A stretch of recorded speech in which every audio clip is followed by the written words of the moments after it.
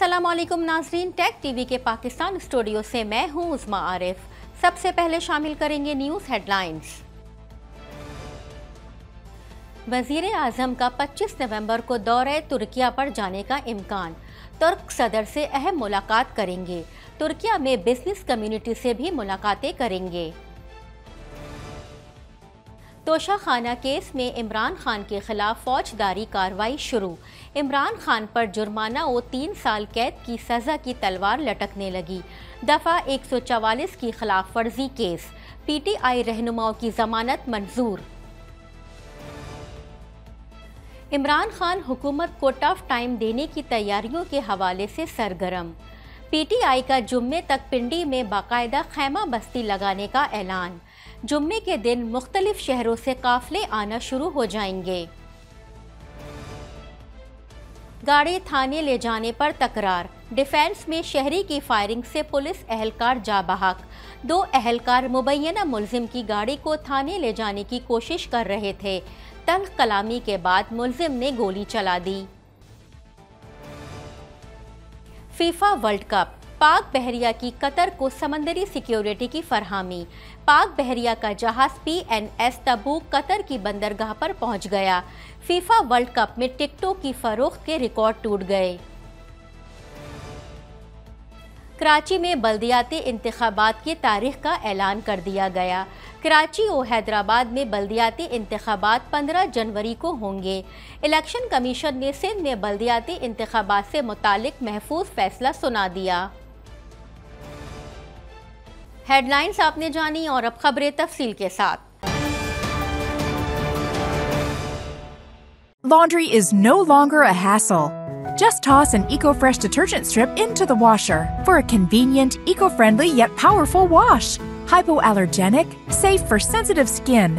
Say no to bulky plastic jugs and bottles. No more measuring and spilling. Just one strip for a load. Simple and squeaky clean. Plastic free, biodegradable packaging. Organic, paraben, phosphate, dioxane, and cruelty free.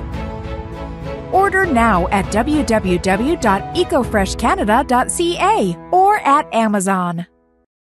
वज़ीर अजम शहबाज शरीफ 25 नवंबर को दौरे तुर्किया पर जाने का इम्कान है, जहाँ वो तुर्क सदर से अहम मुलाकातें करेंगे।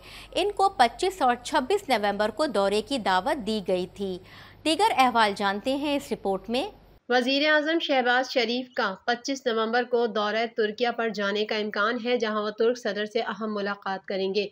उनको 25 और 26 नवंबर को दौरे की दावत दी गई है। मीडिया रिपोर्ट के मुताबिक वज़ीर आज़म को दौरे तुर्किया की दावत तुर्क सदर रजब तैयब उर्दगान ने दी है। वज़ीर आज़म के हमरा वज़ीर दिफा समेत दिफाई हुक्म भी तुर्किया जाएँगे। जराये का बताना है कि वज़ीर आज़म पाक नेवी की तुर्किया के ताउन से बनाई गई फ्रीगेट की तकरीब में शिरकत करेंगे। फ्रीगेट का अफ्ताह वज़ीर आज़म और तुर्क सदर मुश्तर तौर पर करेंगे। जराये ने कहा कि वज़ीर आज़म शहबाज शरीफ, तुर्क हम मनसब से मुलाकात भी करेंगे। और तुर्किया में बिज़नेस कम्युनिटी से भी मुलाकातें करेंगे। जराये का ये भी कहना है कि तुर्किया रवानगी से कबल अहम तैनाती का मामला भी वज़ीर आज़म शहबाज शरीफ के एजेंडे में शामिल है। याद रहे रवान साल सितंबर में, वज़ीर आज़म शहबाज शरीफ से तुर्किया के सदर रजब तैयब उर्दगान की समरकंद में मुलाकात हुई थी। मुलाकात में दोनों रहनुमाओं ने बाहमी दिलचस्पी और बैन अवी उमूर पर तबादला ख्याल किया। तुर्क सदर के साथ मुलाकात में वज़ीर अजम ने Pakistan Turkiye trade in goods के माहे पर दस्तखत का खैर मकदम करते हुए सैलाब के बाद तुर्किया की तरफ़ से यकजहती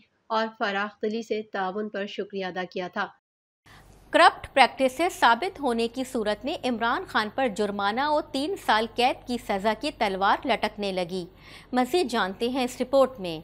चेयरमैन पीटीआई इमरान खान के खिलाफ फौजदारी कार्रवाई का आगाज़ हो गया। एडिशनल डिस्ट्रिक्ट एंड सेशन जज ज़फ़र इकबाल की अदालत में तोशा खाना केस की समात के दौरान डिस्ट्रिक्ट इलेक्शन कमिश्नर का बयान कलम बंद होने के बाद समात 8 दिसंबर तक मुलतवी कर दी गई। District election commissioner Waqas Malik अदालत में पेश हुए और बयान हल्फी जमा करा दिया। उन्होंने कहा कि मुझे अथॉरिटी दी गई है। 21 नवंबर के इलेक्शन कमीशन के फैसले की पैरवी करूँ। इलेक्शन एक्ट की सेक्शन 190 को एक और एक के साथ मिलाकर कार्रवाई की अथॉरिटी दी गई। ये कार्रवाई इमरान खान के करप्ट प्रैक्टिस से मुतालिक है। इलेक्शन कमीशन का इख्तियार है की वो रेफरेंस की बुनियाद पर मेंबर असेंबली के ना अहली मामले को देख सकता है। करप्ट प्रैक्टिस साबित होने की सूरत में इमरान खान पर जुर्माना और तीन साल कैद की सजा की तलवार लटकने लगी।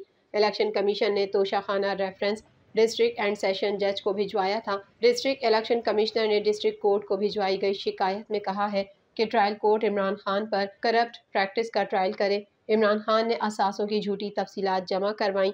वो करप्ट प्रैक्टिस के मरतकब हुए। सेक्शन एक सौ चौहत्तर के तहत झूठी तफसीलात जमा कराने की सज़ा भी है। अदालत शिकायत मंजूर करके इमरान खान को सेक्शन एक सौ सड़सठ और एक सौ तिहत्तर के तहत सज़ा दे। इमरान खान को तीन साल जेल की और जुर्माने की सज़ा सुनाई जा सकती है। याद रहे कि इलेक्शन कमीशन ने फैसले में इमरान खान के खिलाफ फौजदारी कार्रवाई का हुक्म दिया था। तोशाखाना रेफरेंस इलेक्शन एक्ट के सेक्शन एक सौ सैंतीस, एक सौ सत्तर, एक सौ सड़सठ के तहत भिजवाया गया है। दूसरी जानब इंसदाद दहशत गर्दी अदालत इस्लामाबाद ने दफ़ा एक सौ चवालीस के खिलाफ वर्जी और कार्य सरकार में मदाखलत से मुतल केस में पी टी आई रहनुमा असद उमर, अली नवाज़ ऐवान समेत दीगर छः मुलजमान की जमानत मंजूर कर ली। तहरीक इंसाफ के चेयरमैन इमरान खान हुकूमत को टफ टाइम देने की तैयारियों के हवाले से सरगर्म हैं। मजीद जानने के लिए देखते हैं ये रिपोर्ट।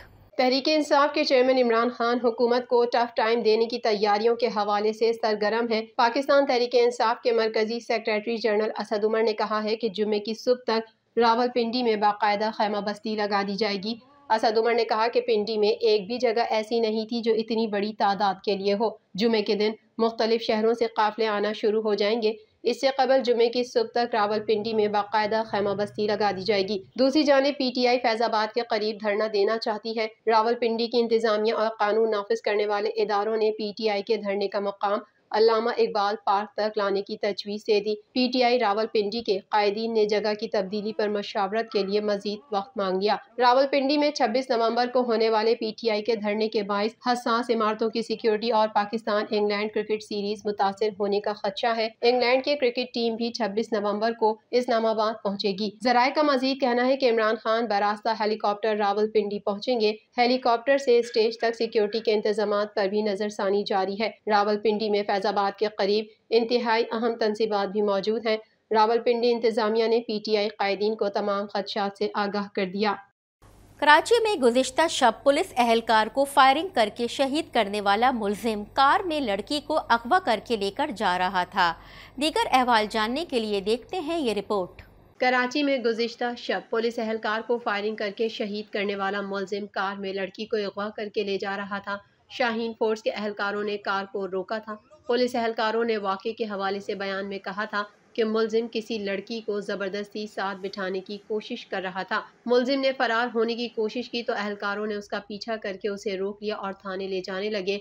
तो मुलजिम ने फायरिंग कर दी और कार में बैठ कर फरार हो गया। कराची के इलाके डिफेंस फ़ेज़ फाइव में फायरिंग के वाक़े में पुलिस एहलकार शहीद हो गया था। शहीद पुलिस एहलकार का पोस्टमार्टम मुकम्मल कर लिया गया है। मकतूल एहलकार पर करीब से फायर किया गया। गोली एक ही लगी जो सर में लगी और जानलेवा साबित हुई। एसएसपी साउथ असद रजा का कहना है कि पुलिस एहलकार के कत्ल में मुलविस मुलजिम का सुराख लगा लिया गया है। उसकी गाड़ी तहवील में ले ली गई है, जबकि वारदात में इस्तेमाल होने वाला असलहा भी बरामद कर लिया गया है। असद रजा ने बताया कि कार में अहलकार अब्दुल रहमान मुलजिम से हथियार हवाले करने का कहता रहा। उसी दौरान मुलजिम ने फायर कर दिया। अब्दुल रहमान ने भी जख्मी होने के बाद मुलजिम पर फायर किया, जो गाड़ी पर लगा। एसएसपी का कहना है कि मुलजिम हाल ही में स्वीडन से तालीम हासिल करके लौटा है और उसकी तलाश में छापे मारे जा रहे हैं। कराची के इलाके डिफेंस में पुलिस एहलकार अब्दुल रहमान के कत्ल में मुलविस मुलजिम खुर्रम निसार सबक डिप्टी कमिश्नर का बेटा है। D I G south Irfan Ali Baloch के मुताबिक मुलजिम खुर्रम निसार का आबाई घर डिफेंस फेस फाइव में जाए बकू के करीब वाक़ है। पुलिस ने मुलजिम खुरम निसार के घर छापा मारकर असलहा और दस्तावेजात बरामद कर ली और चौकीदार को हिरासत में ले लिया है। मकतूल पुलिस एहलकार के भाई हज़रत रहमान के मुताबिक मकतूल अब्दुल रहमान का निकाह हो चुका था। उसकी दिसंबर में शादी तय थी। हमारा भाई दौरान ड्यूटी फायरिंग से शहीद हुआ। PNS Tabuk FIFA World Cup 2022 के दौरान कतर हुकूमत को मैरी टाइम सिक्योरिटी में मावनत फराहम करेगा। दीगर अहवाल जानते हैं इस रिपोर्ट में। PNS Tabuk FIFA World Cup 2022 के दौरान कतर हुकूमत को मेरी टाइम सिक्योरिटी में मुआवनत फराहम करेगा। पाक बहरिया के तर्जुमान का कहना था कि पीएनएस तबूक की international mega event FIFA World Cup 2022 के दौरान मैरीटाइम सिक्योरिटी में मोबनत पाक बहरिया की पेशा वराना सलाहियतों पर एतमाद का इजहार है। तर्जुमान पाक बहरिया के मुताबिक पाक बहरिया का जहाज़ P N S Tabuk Qatar की बंदरगाह पहुँच गया। कतर की बंदरगाह आमद पर पाकिस्तानी सिफारती हुकाम और मेज़बान बहरिया के आला अफसरान ने जहाज़ का इस्तकबाल किया। जहाज़ के कमांडिंग ऑफिसर ने मेज़बान बहरिया के आला हुकाम से मुलाकातों के दौरान फीफा वर्ल्ड कप 2022 की मैरीटाइम सिक्योरिटी पर तबादला ख्याल किया। तर्जुमान पाक बहरिया ने मजीद कहा कि P N S Tabuk FIFA World Cup 2022 के दौरान कतर हुकूमत को मेरी टाइम सिक्योरिटी में मुआवनत फराहम करेगा।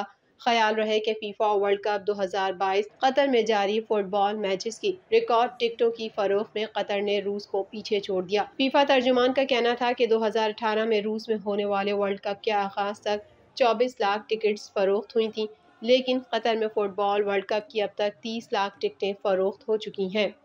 इलेक्शन कमीशन ऑफ़ पाकिस्तान की जानब से पाँच रुकनी कमीशन ने कराची और हैदराबाद में बल्दियाती इंतबात के हवाले से महफूज फैसला सुना दिया है।